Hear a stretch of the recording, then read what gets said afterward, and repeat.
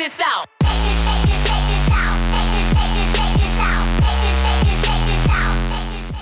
Hey everybody, welcome back to JDM World. Today, we're going to take a look at some measurements that I was just doing down in my basement theater. So I've got three different GSG subwoofers. I've got the uh, full Marty, I've got the new roundover Marty Cube, and the Devastator, and I was looking at integrating these together. So um, not only will we look at some very simple integration, so I'm not going to go into time alignment or anything like that, but we'll be able to look at a little impact of EQ, and then also look at the measurements and how these things sum together in the room. So let's take a look and see what happened when I measured out these subs. But before we get started, and in the words of a famous YouTuber who has a lot more subscribers than I do, like and subscribe. And if I get five likes, I will reveal the back of my head. OMG! Here we are in the basement to take a look at the three subwoofers that we'll be measuring today. So first, we've got the original version GSG Audio Full Marty rolling a uh, Ultimax UM 1822. So this is the non-roundover version, the old version. Here in the corner, on this side, we have the new version. This is the roundover, and this is uh, the Marty Cube featuring the Eminence 18 touring driver. It's the uh, new 8 ohm one that, uh, that I built in the most recent build video. And then in the back, let's run around the corner here, is the Devastator. And this also has an Eminence driver, so the 21 inch. And I'll link all of the different products in the, uh, in the notes below so you can see. But this is uh, the set of subs that we're gonna look at. And there is some of the measuring equipment that we'll be using. Here we are in REW and it's time to get down to the fun stuff. So I've gone ahead and measured everything. No need to uh, feel that pain with me. Uh, through the magic of television, we can skip through all that. Uh, but we'll get right to it. So I think the thing that people are most interested in seeing is the uh, the new Marty Cube with the 8 ohm Eminence touring driver. Uh, that's the 18 inch, of course, and, and here it is.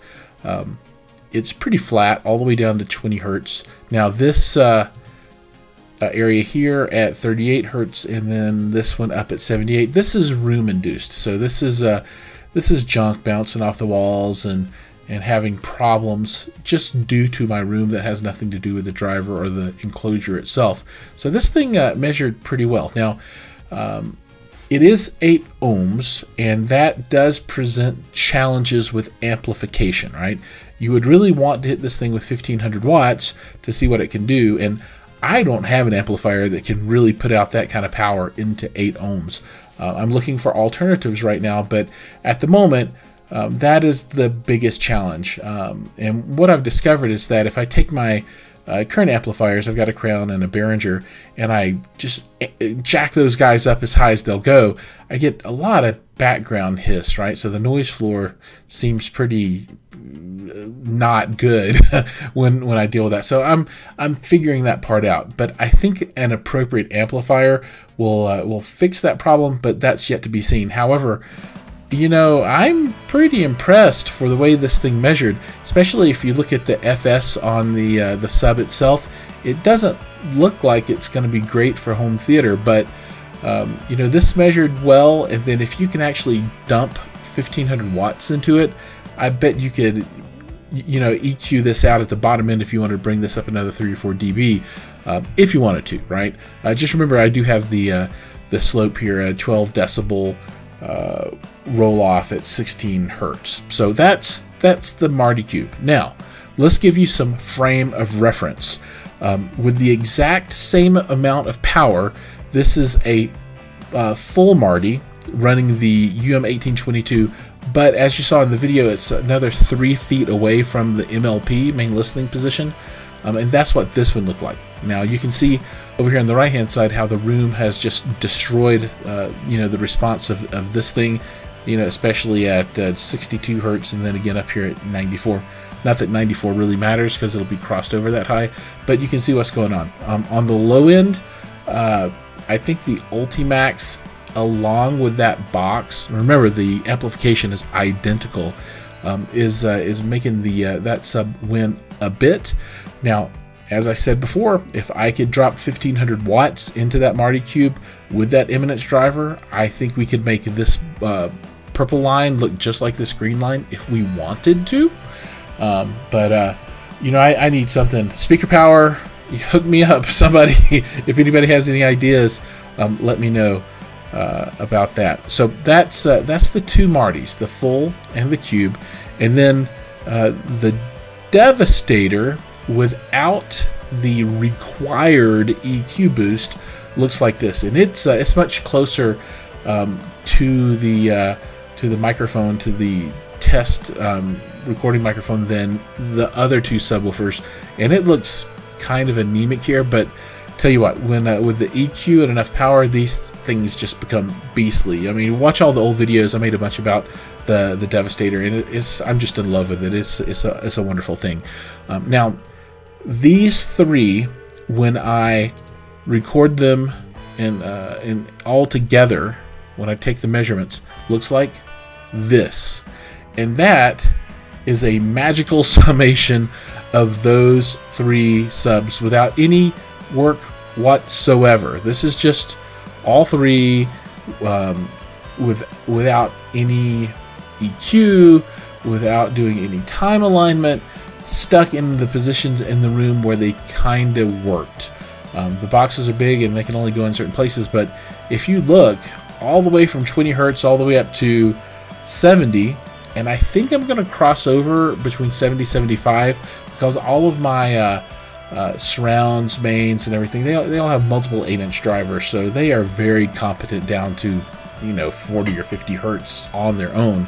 So I can cross over at 70 or even 60 if I wanted to without any issues. So this is epically flat for something that's not time aligned um, but and this is really I think what most people are going to want to do themselves you know uh, unless you're really super hardcore folks really aren't going to be doing a lot of time alignment um, and I like time alignment, especially for impulse control, so you can make the, the bass sound arrive at your listening position all at the same time. Uh, but a lot of people will use it for uh, getting rid of cancellations and, and that kind of stuff and make everything uh. Is that the right word? Make sure everything sums correctly. But this is uh, this is out without any time alignment. This is just straight up. Let's measure them and then measure them all together. Now, um, I did want to put the uh, EQ on the Diva. So uh, if you take that Devastator and this is uh, with the EQ, let me see if I've got, yeah, here we go, no EQ.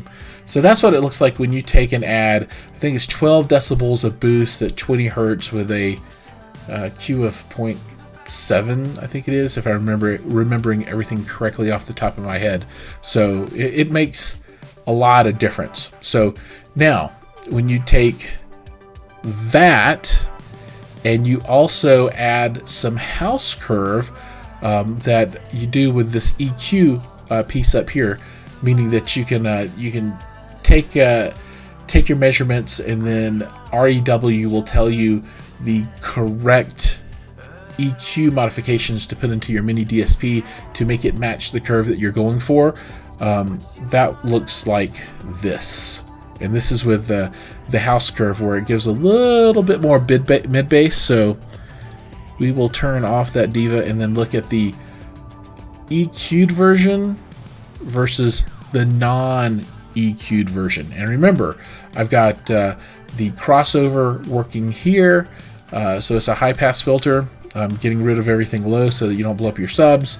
And then I've got uh, all of the EQ settings, including the 20 uh, hertz bump that's recommended from uh, GSG. I have a couple of photos and I'll be throwing those up so you can see what that looks like.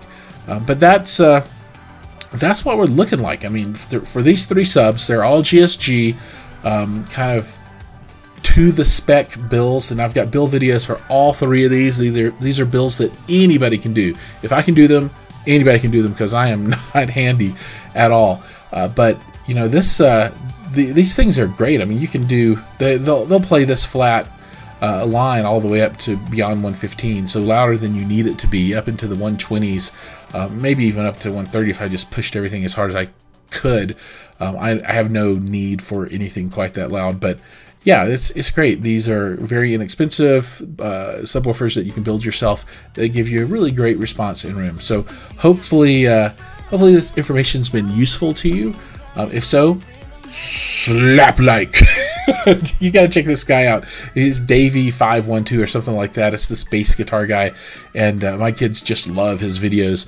Um, anyway, I, I, digress. But yeah, if you've if you like this stuff, please uh, please give me a like and subscribe, and uh, let me know below what kind of success that you've had with uh, aligning your subwoofers and tuning them up to get your best performance. Thanks everybody, and we'll see you in the next video.